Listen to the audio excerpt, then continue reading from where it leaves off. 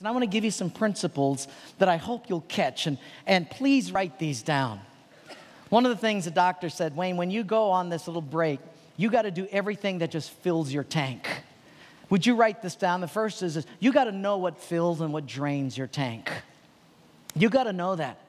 It's sort of like this, and I'll draw some stuff on this board, but uh, it's sort of like you have an emotional tank here, and you've got a drain, and you've also got an input.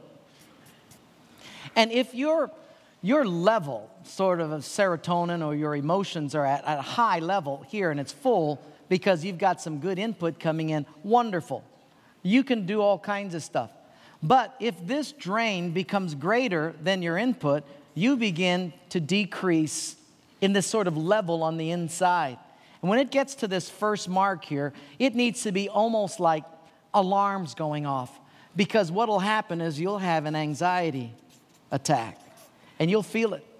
Alarm should go off. If you don't start the fill, it'll drain down to the second where you'll have an emotional breakdown. And if you ignore it, and like me, just was a continued, uh, just a dead leader running, if you're not careful and gets down to here, this is where they say you have a nervous breakdown.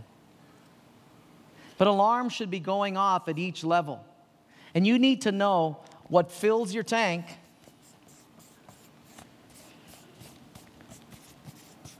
and what drains it. And you need to write that down.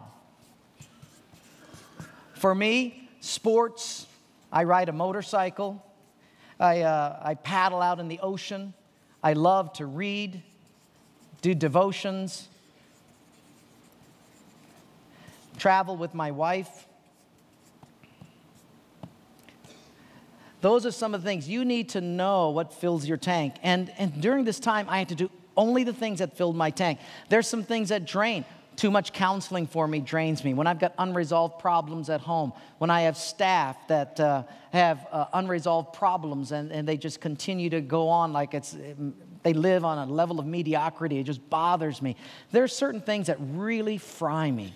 These are uh, overtaxed schedule, uh, overbooking myself, inability to say no. These things drain me. Now, what happens is when you get too busy, now watch this when you get too busy and the drain gets to in, be increased, what happens is when you say, Oh, I'm just too busy, I can't play basketball anymore, something that filled your tank. I'm so busy in the ministry, I really can't take time to ride a motorcycle, or I can't do paddling, or I can't take the time to read, or do this or that.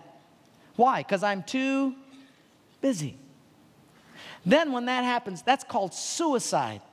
Because if if you've got an increased drain and you shut off your input, guess what's going to happen?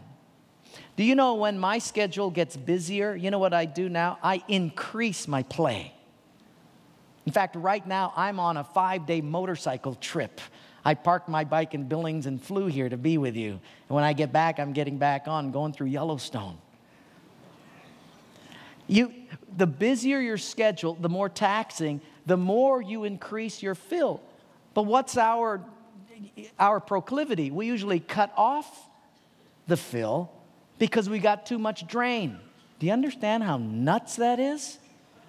We do that all the time. You write down what fills and what drains. And here's what I'd like to give you as an assignment. You then have your spouse do the same thing. Have her or him, you, you have them fill out what fills their tank. Just things, ask yourself these three questions when you say, What fills my tank? Ask yourself these three questions. The first is this What am I doing? And with whom am I doing these things? And where am I doing it? Where I, when I do these things, I feel most alive and I feel the fullest. Can you remember those three questions? What am I doing?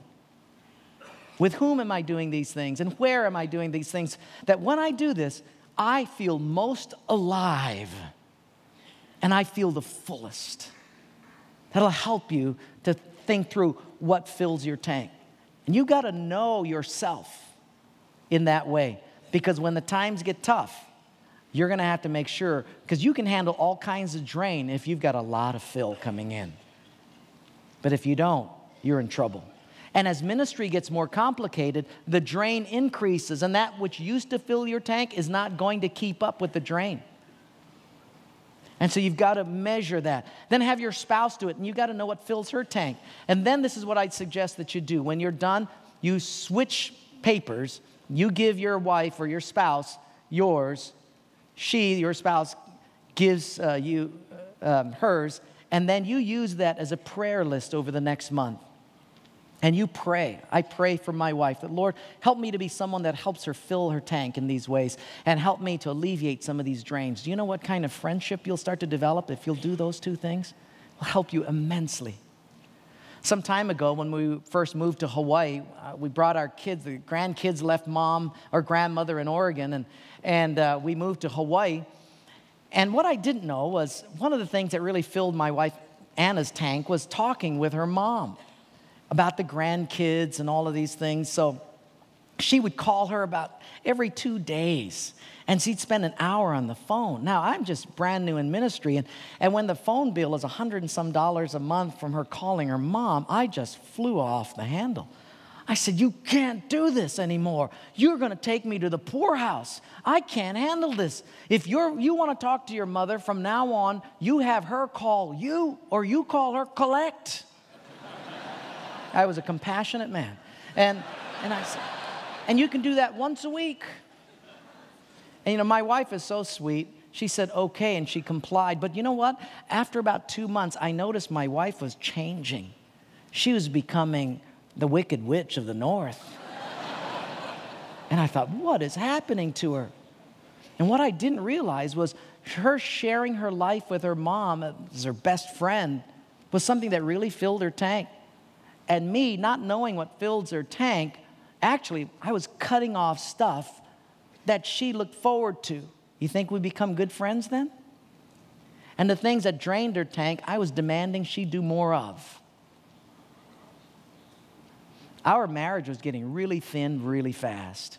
And then I understood this, and we made some changes. And I said, honey, I'm so sorry. You, you and your mom are best friends, and I have been so blind.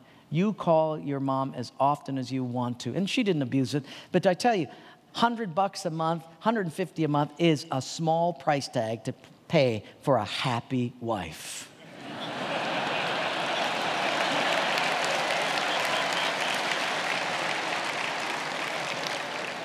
now, let me tell you the kicker. She started calling her mom again, and she just turned back into the beautiful lady that I married. And let, here's the kicker about a year and a half, her mother died. And you think about it. What would my marriage be today if I had stuck to my stupid guns and her mom passed away? Do you understand what would be going on in our life? This is incredibly important. If you'll learn what fills and what drains your tank, it'll save you years, might save your ministry and your marriage as well.